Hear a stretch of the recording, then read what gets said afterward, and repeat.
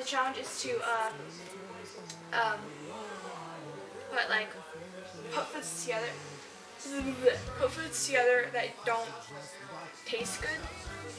So I just got a bunch of stuff. I got Nutella, uh, mayonnaise. Um, I, it's rice pudding. I don't know. I don't like it. Uh, sliced jalapenos. Uh, I got veggie straws.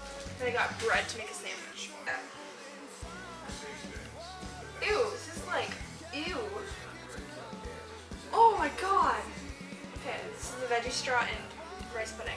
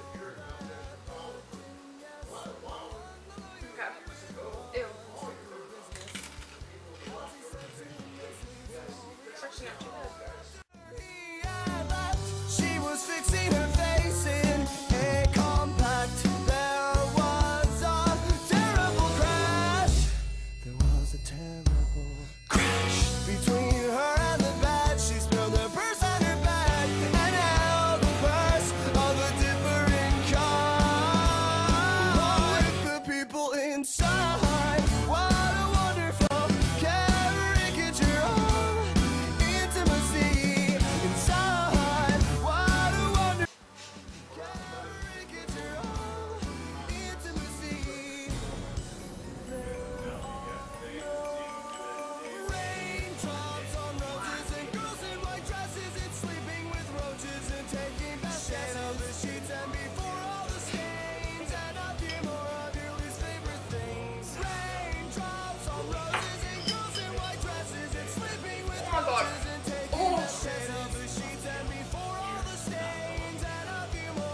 more. Okay, so I somewhat recovered from that little jalapeno incident, accident.